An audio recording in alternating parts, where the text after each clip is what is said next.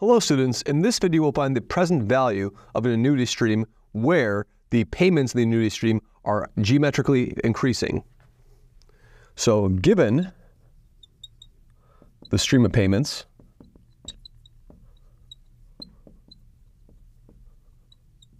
according to this number line, I'm going to do it for this for annuities immediate. Here's time zero, here's time one, here's time two, here's time three, here's time n minus one, and here's time n. A traditional annuity immediate, you would get $1 at time 1, $1 at time 2, $1 at time 3, $1 all the way down to time n. Now what will happen is you're going to start with $1. Then you're going to get a 1 plus r.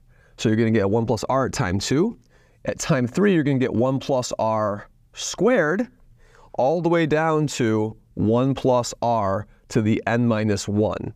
So you're going to have a geometrically increasing progression that is ramping up as time moves forward. So what's the present value of this streams? So the present value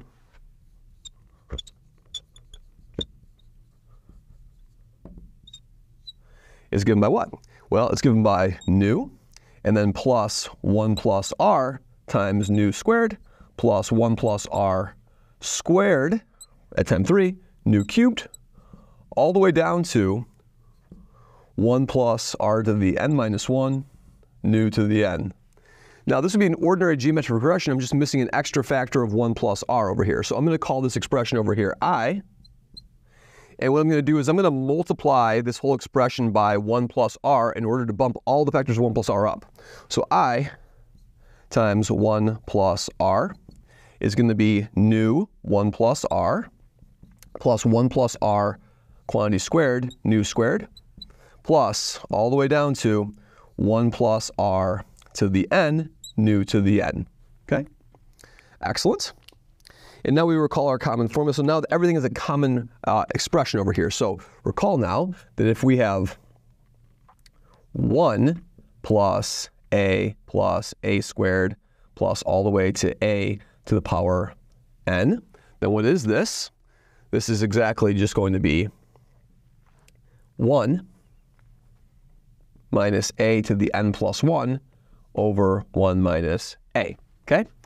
And so if I started with a, as we have over here, we're going to subtract off 1. So what's the formula now? So if I subtract off a from this, I have a plus a squared all the way down to a to the n. It's going to be 1 minus a to the n plus 1 over 1 minus a. And I have to subtract 1, so I'm going to subtract 1 minus a over 1 minus a. And now they have a common expression over here. And so what we see is this is going to turn into a factor of what? This is going to be an a. This expression over here is going to be just a minus a to the n plus 1 over 1 minus a. Okay, so we use that formula over here. So now this is equal to, that's my, my a is now nu 1 plus r minus a nu 1 plus r to the power n plus 1 all divided by 1 minus nu times 1 plus r. Okay? Now that's a little bit of a mess, and so what I'm going to do is I'm going to multiply everything by 1 plus i. Okay, so if I do that, what's going to happen? I'm going to do a 1 plus i on the top and a 1 plus i on the bottom. And that will have the effect of canceling out 1 power of nu. So if I do this, what will this become? This is going to become the 1 plus i times this nu over here is just going to give me a 1 plus r, 1 plus r. And then I'm going to get one less nu over here, so I'm going to have a nu to the n. Then I'm going to have a minus nu to the n. I'm going to write like this. Let's write this as just nu to the n. And then 1 plus r to the n plus 1, all divided by, I'm going to have a 1 plus i, and then minus 1 plus r. 1 plus i minus 1 plus r. Okay? Now remember, this is a formula we have for what? This is a formula for i times 1 plus r. So I need to cancel out that 1 plus r. So I'm going to cancel out one factor of 1 plus r, and notice that the denominator is just i minus r over here. So I'm going to have an i minus r.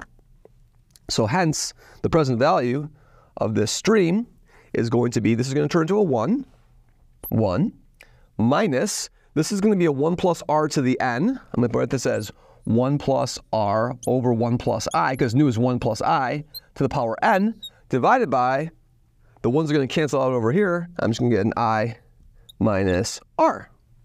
Beautiful. Now, one thing we can note is that I need to have that i being bigger than r for this formula to work, or i cannot be equal to r, otherwise this formula is going to degenerate into nothing. So we need to have that restriction on the problem. Now, one immediate consequence of this is that I let n go to infinity, and I know that r is less than i as n goes to infinity. We get the, um, so this will, of course be the present value up to, up to time n. This formula becomes, this becomes a perpetuity.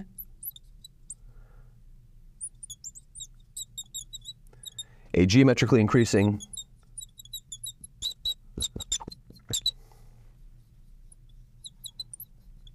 perpetuity. With present value, what will the present value be? As n goes to infinity, this term is going to go to zero. The present value of that, that infinite perpetuity is going to be 1 over i minus r. And so that's the present value of a perpetuity immediate where you're getting an increasing progression of payments as time moves forward. Thank you very much.